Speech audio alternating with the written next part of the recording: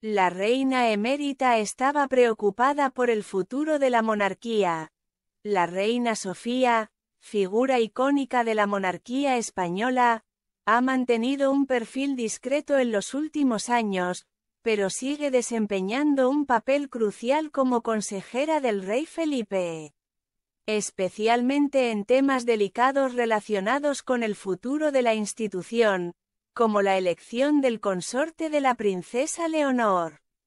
Una de las áreas donde la reina Sofía ha ejercido mayor presión es en la elección del futuro consorte de la princesa Leonor, heredera al trono. Mientras que la reina Leticia tiene una visión más abierta sobre el perfil adecuado para la pareja de su hija, la emérita insiste en que el pretendiente ideal debe tener un profundo entendimiento de los valores y la esencia de la monarquía española.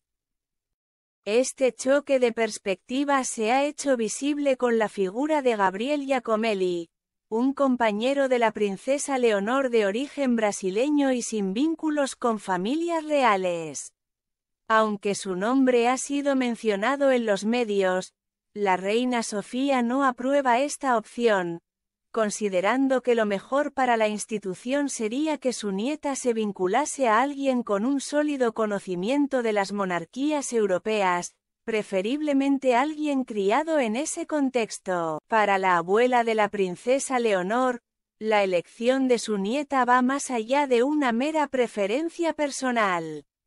Se trata de una decisión fundamental que puede tener un impacto duradero en la imagen y la legitimidad de la monarquía española.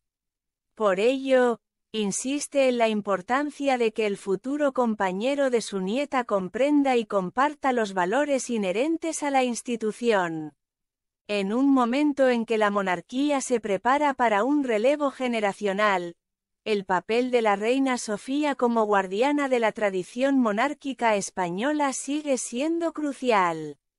Su influencia en la toma de decisiones clave, como la elección del consorte de la princesa Leonor, refleja la importancia que aún mantiene dentro de la corona, a pesar de su menor visibilidad pública.